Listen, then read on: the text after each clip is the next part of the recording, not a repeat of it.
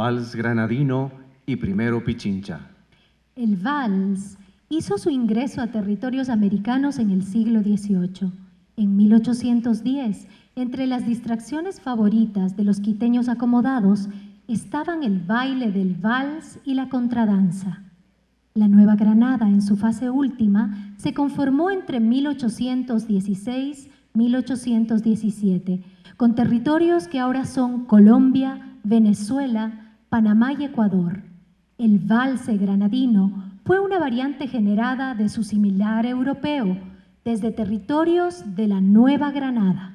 Por su parte, la obra Primero Pichincha es probable que esté inspirada en el triunfo del ejército libertador en las faldas del volcán quiteño.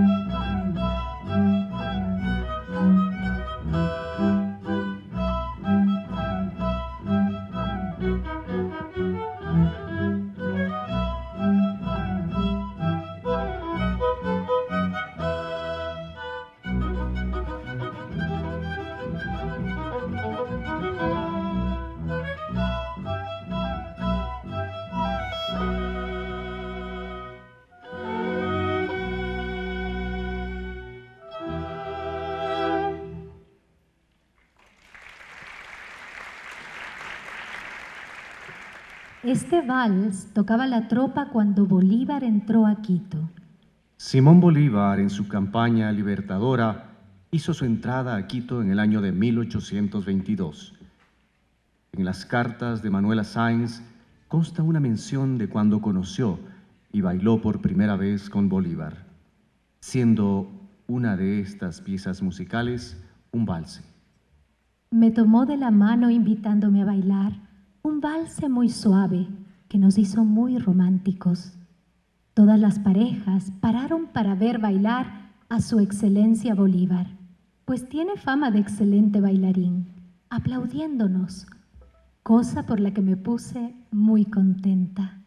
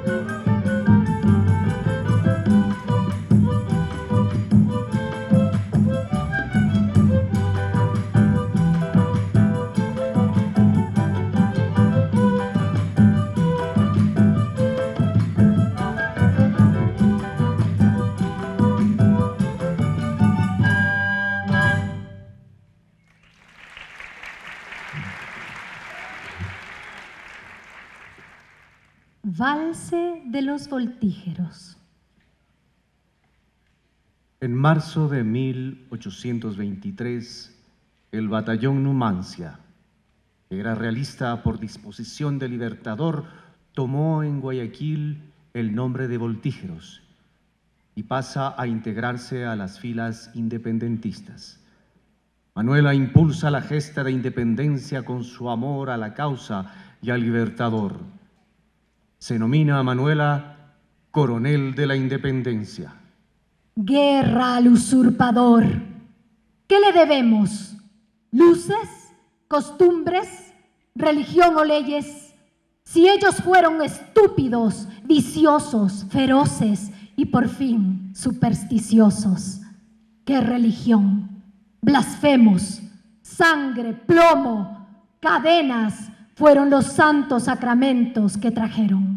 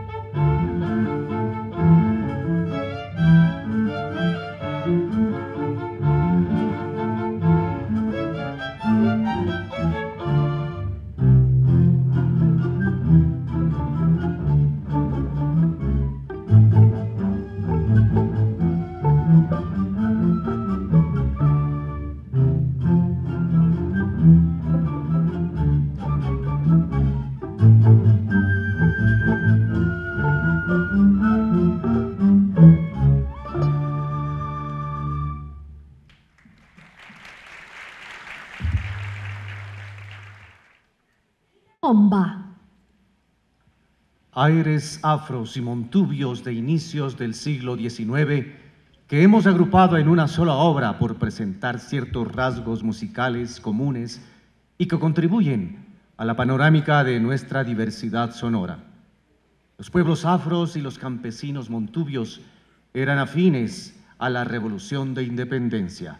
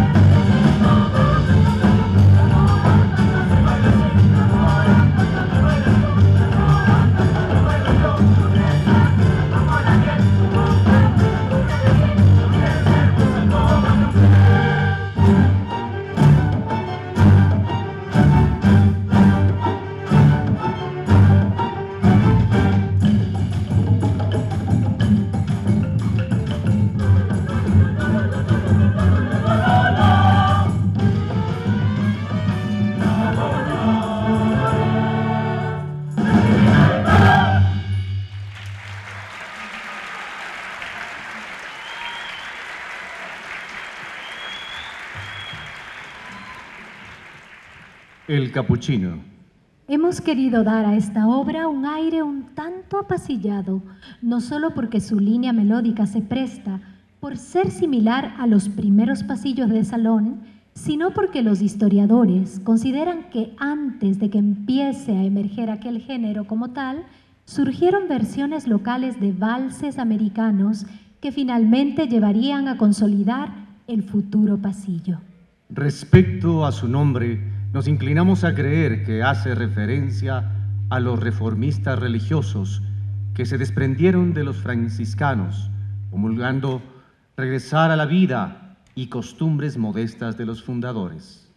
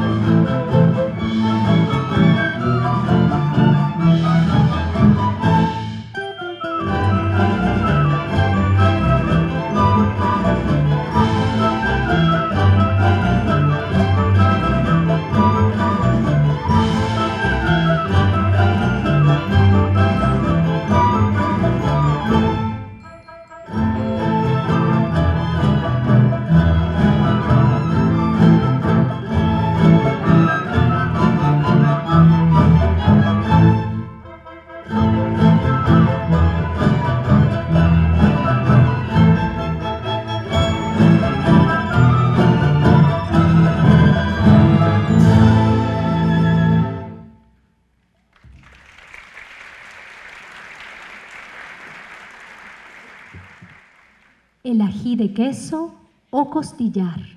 Es el resumen sonoro de la época, constituido por componentes indígenas, negros y mestizos, y cuya música para 1830 ya podía llamarse ecuatoriana. El mestizaje y el proceso libertario generaron otras vertientes culturales que trajeron distintos aportes políticos y artísticos a la historia de América. La música y la danza fueron también voces primarias de un continente que luchó, y aún lo hace, por alcanzar ideales de libertad.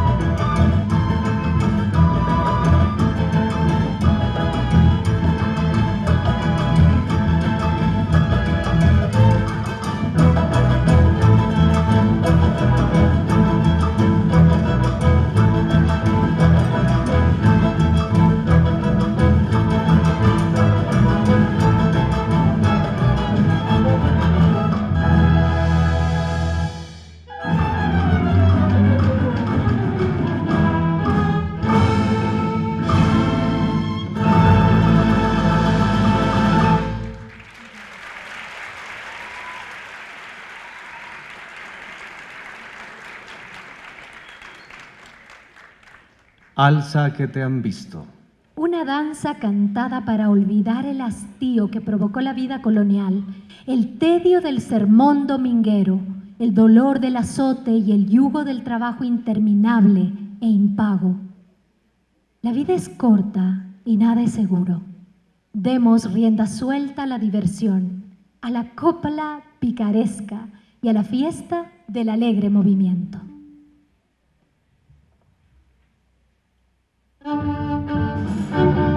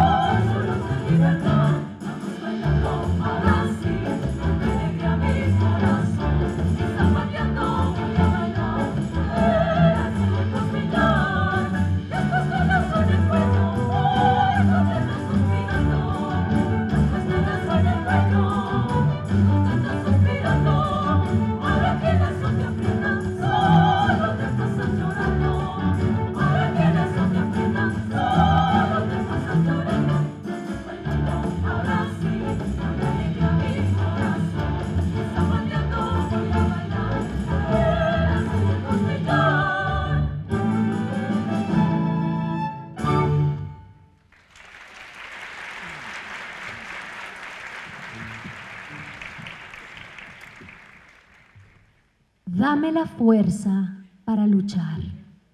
He arado en el mar y cosechado en el viento. Aún así, en mi tiempo y en el vuestro, el amor sigue siendo la razón más grande para luchar por saciar el hambre de pan, justicia e igualdad. Manuela, sigues en batalla interminable, empuñando la misma bandera. Eres mi eterna fuerza, la fuerza de todos.